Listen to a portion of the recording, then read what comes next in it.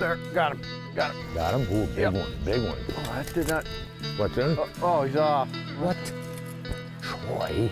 That was Huh. a big, that was a big animal. Yeah, Like musky-sized fish. yeah. Wow. Bucktail. Huh.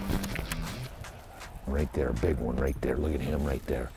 Right there. Oops. Oh, There's, there's one. Uh, there's one. you're looking at one What? I, I'm looking at one and there's another one there. That's a good one. Come here. That's a nice, nice sized pike. Look at him. Whoa. There we go. Come here, buddy. Come on, come on, you little runt, you. Oh, yeah. Whoa, whoa. Come here. Oh, wow. Oh, whoa, whoa, whoa. there we go. There we go. Scoop 'em just like just leave them in the, leave 'em in the net, and I'll get I'll get the correct tools right here. You never go to Canada without the right tools. I like fishing these uh, single hook baits. Oop, like that. Get them right out of there. Boy, look at a healthy fish. That's one thing, you know, we're on so many of these lakes, like Gull Rock and Red Lake, a lot of these Canadian lakes have tremendous populations of not only northern pike, but one of the biggest things is the forage, and that's tullibees and whitefish. Look at that, nice fish. Beautiful animal. Look at that. Boy, wide body. Pretty, pretty animal. We'll get her back in the water. Come on. Wow, come on. Come on. Boy, are they cool, really cool looking fish. Wow. There you go. Nice. How do you like that? My new favorite lake. Yeah. I'm easy. Two bites right away. Closed captioning is provided by Smooth Moves, adjustable boat seat suspensions for a smoother ride. You know, it's interesting. We're up here in the uh, second week of September, and so many people like coming up to Canada in spring.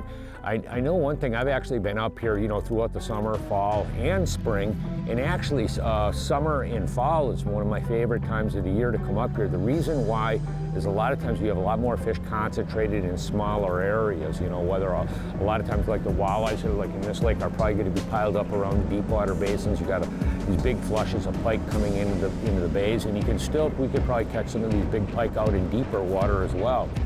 But it's a good time of the year to come to Sunset Country. There, got him, got him, got Another one? Big one. Yep. Yeah, there you go. Whoa.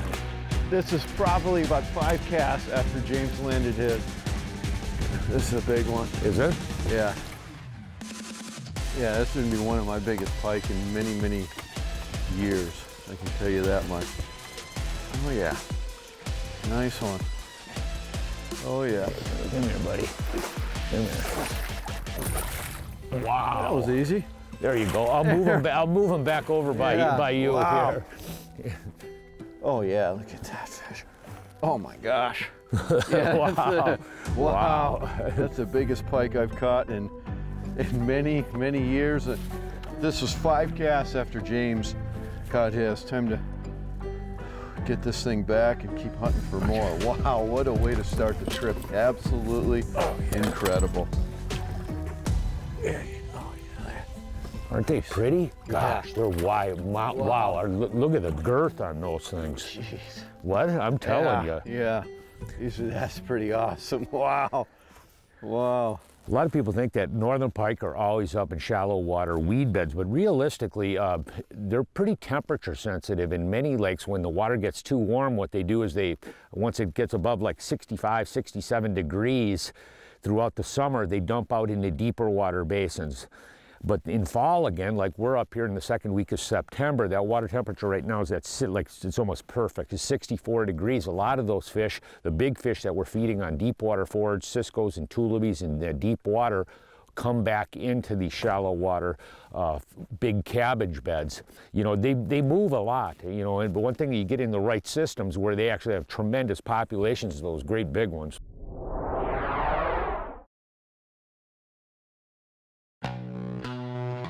This segment is brought to you by Big Bite Baits, designed to bring the big bite to your line.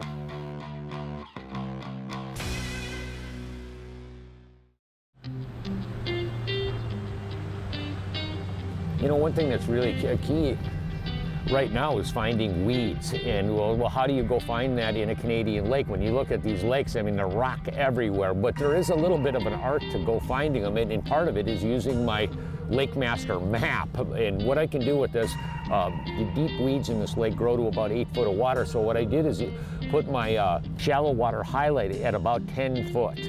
And then what I do is look at the contours in the backs of these bays, these really big, slow tapered uh, bays. And you can see we have a creek coming in here, but you can see we have a really big tapered flat in here. And a lot of times what that is, you get into back ends of these bays, that's where you'll find sand. Not only sand, you have this fertility coming in and you'll find these big weed beds. And that's what we've, we've been doing, just hopscotching around. When you look at the map, we've been just running down the lake, going to every back end of the bay, but you'll notice on one thing where we've also been targeting it, it's directly associated to the main basin of the lake, the deeper water. A lot of times, you know, intermittently these fish are going out and feeding on these deep water tullibees and ciscos, then they move back into the bay. Oh, there. Yeah. Yeah. Oh, he just. that one? Yeah, right near the boat. That one just kind of came up. I'm throwing that inline spinner and running kind of under the surface. So that one came up. That might be. Wow. Another. they are. What? Oh, they are fun.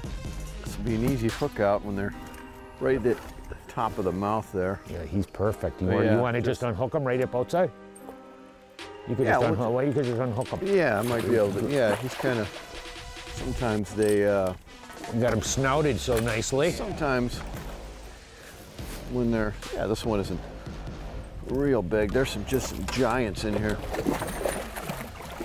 Come here. Oh yeah. This be an easy one. Yeah. Yeah. Sometimes when they. Oh, look at that. This is nice. It's one little pop like that, and the fish is out. Nice one. Yeah. You know, pike are really unlike walleyes or bass where you're going to find a, a rock pile or a weed bed and there's a whole bunch of them in a really small spot. The weird thing is, is the way these fish lay out, you get a big weed bed and the fish will be spread out.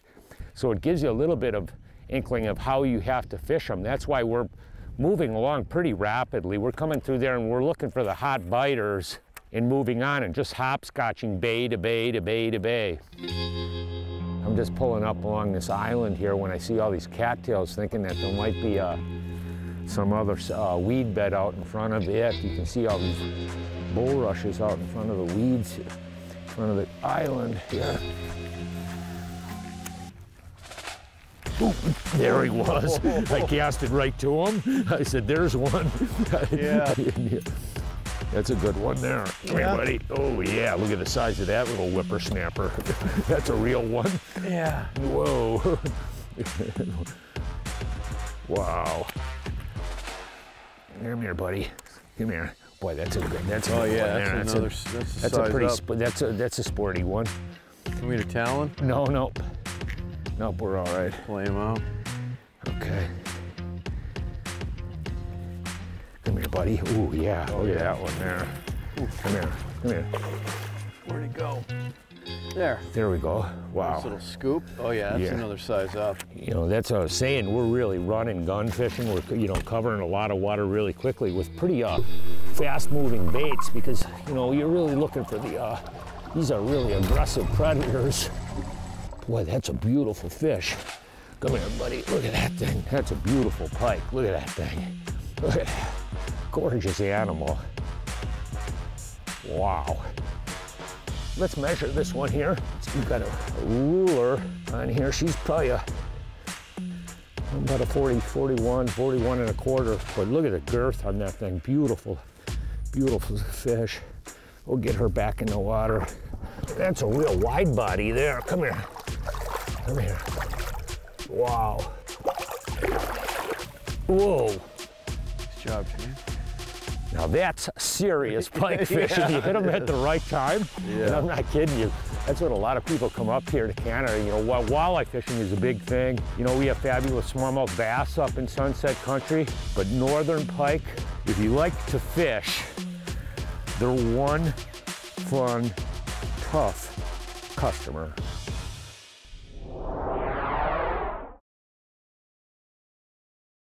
They like to eat when you're throwing the right thing.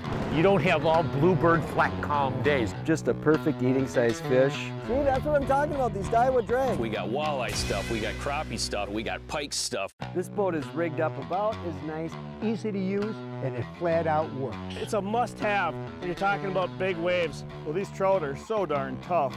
This bait is legendary. You know, when you're thinking about pike fishing, there's three different ways to kind of break it down when you're talking about the action of the baits. Side to side, kind of a, a jigging up and down, and then a straight line. Now I'm gonna go a little bit more in depth. James is throwing this boxer head jig, a one ounce boxer head. This is a seven inch big bite bait suicide shad. He's jigging it and snap jigging it across the bottom, almost like he's bass fishing or walleye fishing, snapping it up off the bottom. I actually had one follow my glide bait. So this is a nice erratic side to side action on this as well. When we're talking about erratic side to side, well, you got to mention the bigger X-Rap without question. And also, I've got a few. I've been doing really good in this, actually, a number of fish on this size six inline spinner from Blue Fox. This thing is, is dynamite, and this is a straight line retrieve. So these three actions, depending on the mood of the fish, are very, very important. Experiment with all three. You're gonna find one that predominantly works excellent throughout the day. Something like this, straight line, just cast it out and burn it in, and the fish just crush it. Oh, yep, got it. Right at the tip of the, the tip of that weed bed out there. Size. A nice one, yeah.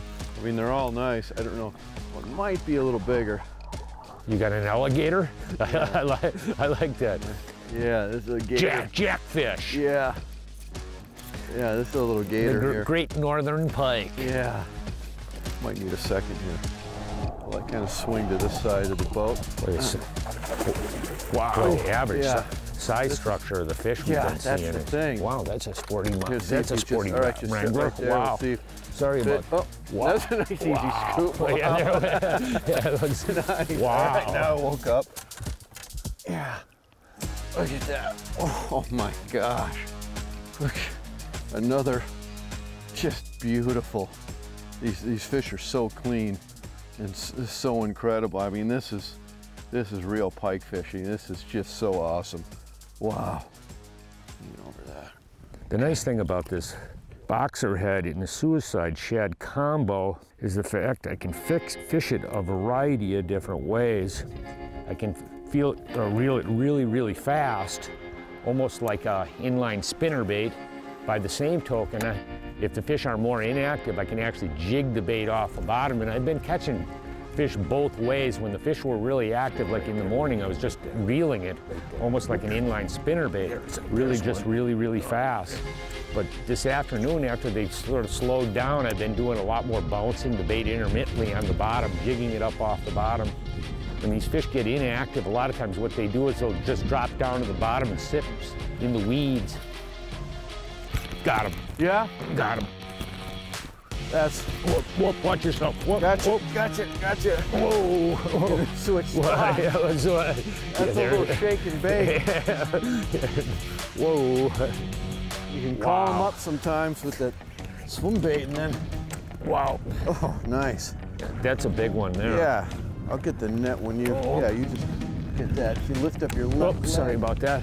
Oh, There's no, some- no. Look at that fatty. Wow. Yeah, Look at that thing. lead them right into that. There we go. Wow. Nice easy scoop for you. Wow. That was that was cool. Yeah, Beautiful fish though. I mean, look at that thing. Lots of them.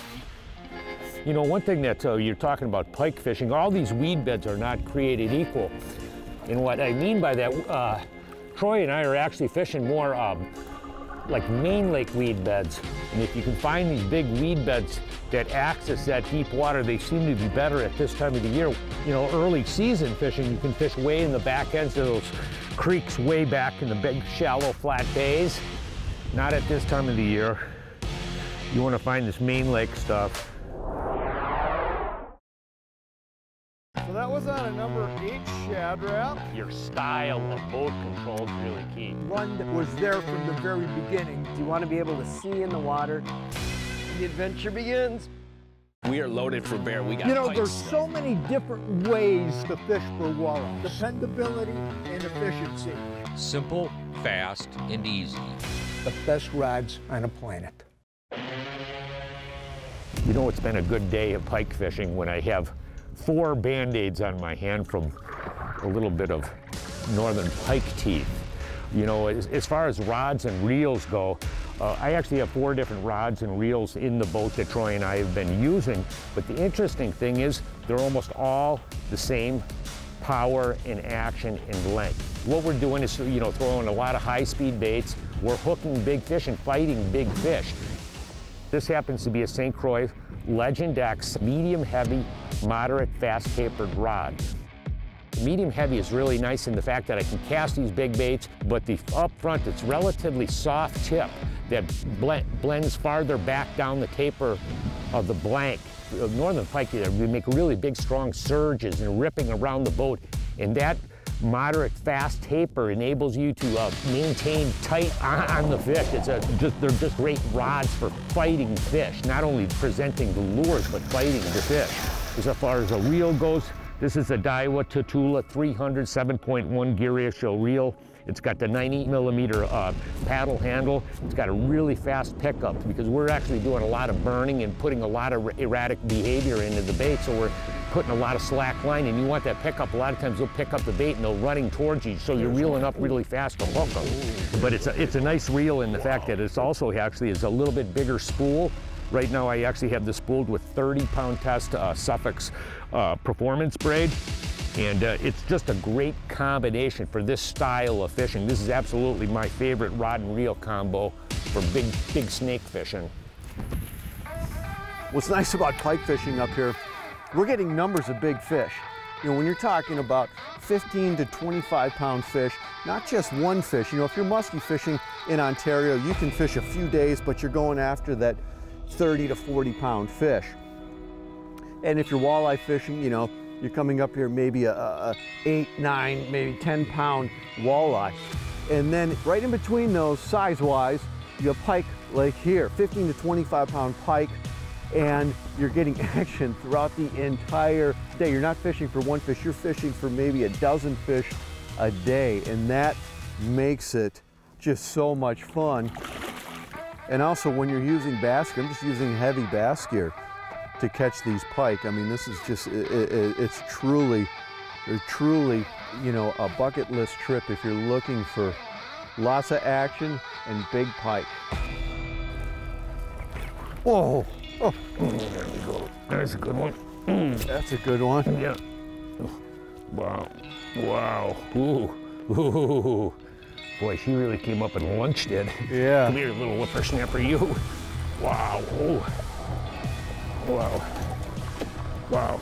Wow, look at that one there, Troy. Yeah. That's a good good one there. Look at him. Come here, come here. Come here, buddy. Whoa. The Whoop, other side. No, no, no, no, no. Whoa. Here we go. Come here, buddy. Come, here. come on, come on, come on, come on. No. Oh, Whoa. There you go. Wow. Well, I, I tell you one thing. We've had one stellar day on the water. The first day at Gull Rock, staying Yeah. at Five Lakes Lodge. We've been, this is like, how many of this, how many of these have we caught today? what? A lot. Uh, yeah, a, lot, a lot. I mean, look, look at the size of this little animal. You want to get in on some really fabulous fishing, you come up and fall to Northwest Ontario, Sunset Country, at Gull. We're staying at Gull Rock up in Red Lake, Ontario, and it's just amazing. I mean, it has been just like an amazing day on the water. Troy, and what do you think about it, Troy? Oh, this is just some of the best pike fishing. It really, it ever really had. is. It's incredible. it's the hottest pike fishing I've seen in a long, long time. It's a lot of nu- uh, numbers. Numbers, numbers of fish like this. We'll get her back in the water. Beautiful, beautiful fish. Wow, Wow. that is so much fun. you got me a little wet, but it was worth it. there you go, thank you. Hey, we all know about the crazy real estate market that we've been living in and seeing the last few years. And I've got some close friends and family that are in the business. And uh, uh, they've been encouraging me, me to, to possibly entertain the thought of selling my house. And I've got a big home. My wife passed away about almost 10 months to the day now, very close to it. You know, and I've been thinking seriously about downsizing, getting a new location, simplifying my life. And I looked at 14 different places, different locations, and I just couldn't find anything that I was comfortable with. And they keep nudging me, Al, you could make a killing, you could make a killing on your house. And uh, uh, uh, I was sitting in my prayer time not too long ago in the morning, and I had two major criteria that I talked to him about that are important to me. One of them was convenience, convenience to town, not far from my office, my church, the food, theater, uh, anything uh, that, that uh, uh I have to get to quick and easy. That was important to me. And the other part of it was solitude. I want some acreage, I want some space around, around me. And uh, those were two important factors. And in my time talking to the Lord, I'm complaining a little bit in the morning. Why can't I find where I'm going to? It? Should I do this or that? And it's like that little tug. You know, it wasn't an audible from heaven kind of deal. It says, why don't you just look out your window? Duh, a wake-up call. Why don't you just look out your window? Well, I looked out my window. I thank God, and I am here, I'm guessing for duration. and simple truth, simple thing that I had to deal with, but uh, uh, uh, it gave me great peace. Al, look out your window. Thank you, Father. You blessed me so much, and my home and place I live is one of them. Hey, from Wallace here at the edge of good, safe fishing season. We'll see you on the water.